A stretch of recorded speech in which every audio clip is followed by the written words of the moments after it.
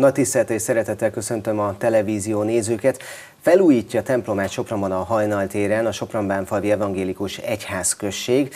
Mint Soproni és mint Sopron Bánfalvi számomra is egy kis meglepetés, hogy létezik ott Bánfalván egy evangélikus közösség. Többek között erről is szólunk a mai mozaikban. Itt van Heinrichs Eszter, evangélikus lelkész, nagy szeretettel és tisztelettel köszöntöm, és köszönöm, hogy elfogadta a meghívásunkat. Én is szeretettel köszöntöm a televízió nézőit. És még mielőtt a Sopronbánfalvi templom felújításáról szólnánk előtte, erről a viszonylag kis közösségről szóljunk, hiszen ez nem most alakult, hanem mondhatjuk azt is, hogy történelme van. Hát ennek a gyülekezetnek komoly történelme van, a 17. századra nyúlik vissza. A reformáció elej, eleink már a reformációt követték Sopron-Bánfalván nagyon korán, írott emlékeink is vannak.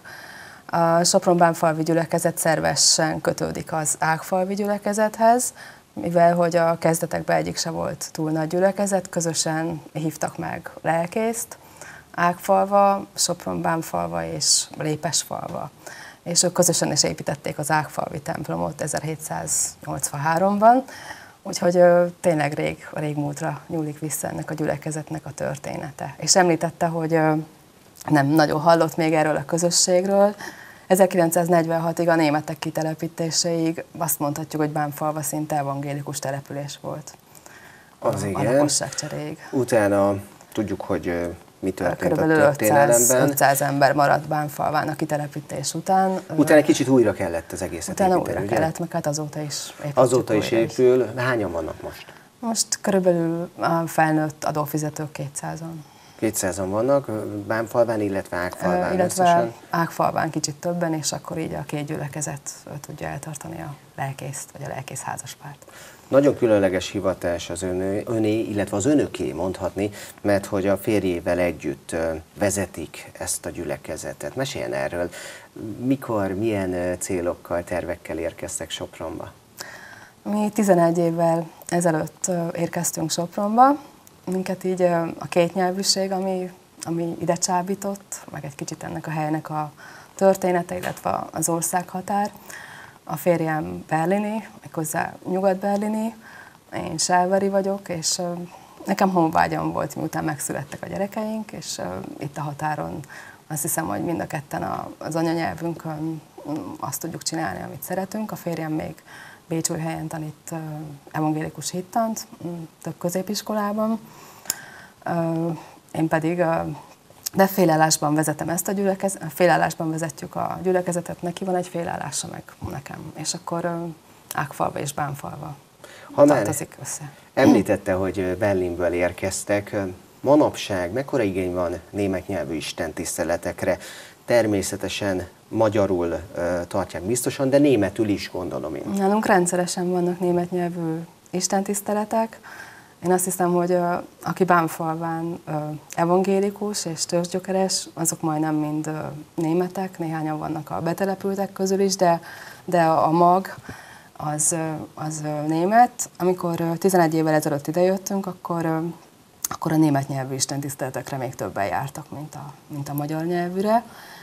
Mi szeretnénk ezt a, ezeket a német ö, hagyományokat, illetve a német nyelvet tovább örökíteni, úgyhogy most a családi istentiszteleteink, amik nagyon szépen látogatottak, azok két nyelvűek, de van külön német nyelvű istentisztelet is.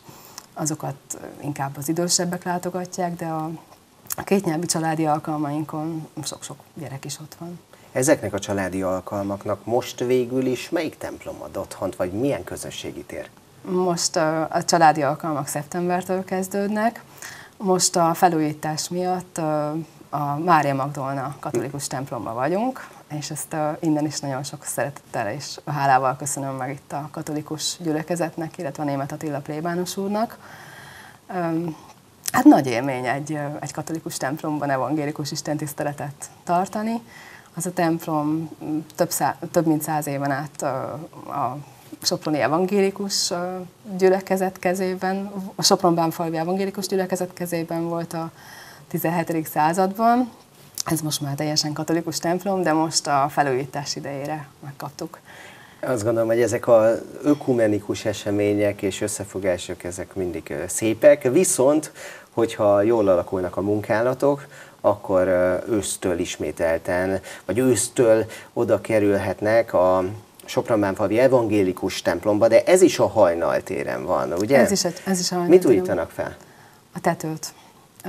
Ez már amikor idejöttünk 11 évvel ezelőtt, akkor már téma volt, hogy meg kell csinálni, meg kell csinálni, mert bázik, a cserepek nagyon rossz állapotban voltak, a gerendák, meg az egész födémszerkezet, és akkor most különböző pályázatoknak hála, most az egész pénz meg nem is jött össze, de, de jó része. Illetve gondolom az önkormányzat is önök mögé áll. Az önkormányzattól is kaptunk két millió forintnyi támogatást, amit nagyon-nagyon szépen köszönünk innen is.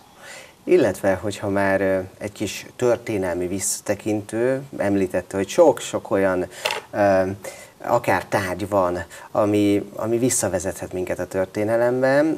Itt van például egy tintatartó, ez egy nagyon különleges tárgy, ugye pont a templom felújításakor leltek rá. Meséljen erről, mit találtak még?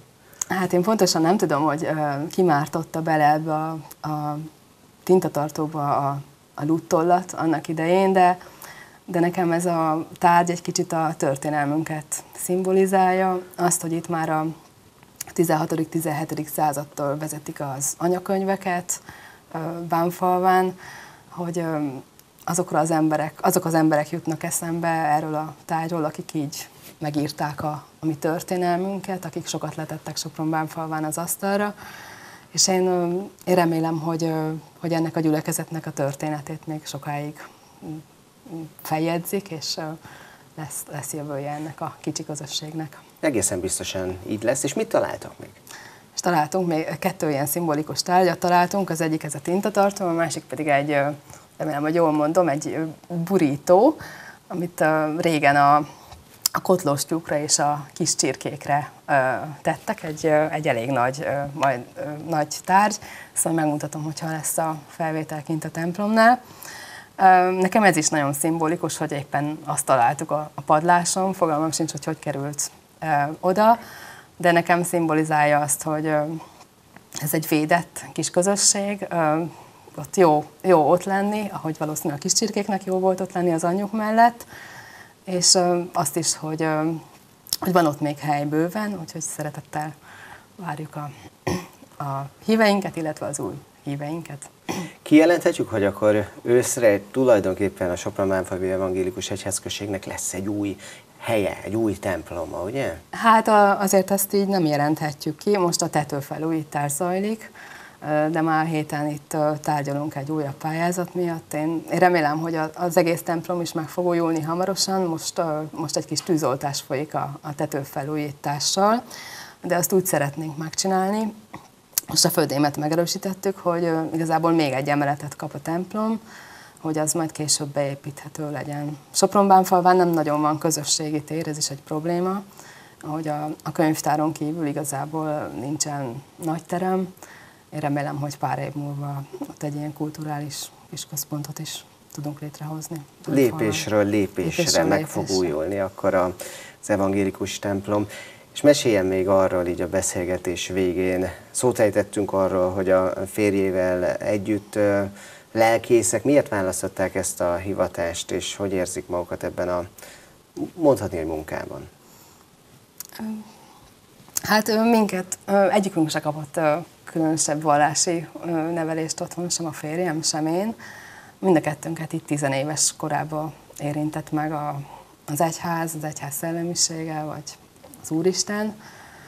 És annyira új volt ez az élmény, hogy mindannyiunknak az élet, mind a kettőnknek az életét ezt így megváltoztattam. Mind a ketten a teológiára mentünk tanulni, ő Humboldt Egyetemen, illetve Berlinben tanult, én pedig a Pesten az evangélikus teológián, aztán Berlinben találkoztunk, ahol én ösztöndíja voltam kint két évig. Hogy hogy érezzük magunkat? Mi borzasztóan szeretjük ezt a bánfalvi, meg az ágfalvi közösséget. Engem, engem elvarázsol a története, ezért is hoztam be ezt a tintatartót. Elvarázsol a múltja. Én Sálváron nőttem fel, ami 60 km innen, de hát ez egy külön világ itt Sopron, meg a, nem is tudom így összehasonlítani nagyon a, pedig két Dunántúli városról van szó. Én borzasztóan szívesen hallgatom a, a bánfalviak történeteit, a, a régen németségről. Én nagyon szeretem, amikor németül beszélnek, sajnos most már egyre kevesebben. Teljesen elvarázsol, amikor keverik a, a magyar és a, a német nyelvet, ezt, ezt csak így tudják. Kívánok további minden jót, jó egészséget és sok örömet a hivatásukban. És kívánom azt, hogy akkor össze majd legyen egy új tető a templomban, és lépésről lépésre további munkálatokhoz is minden jót kívánok. Henrik Eszternek, evangélikus lelkésznek, köszönöm szépen, hogy itt volt. Köszönöm. Önöknek is köszönöm a kitüntető figyelmet, minden jót kívánok, viszontlátásra!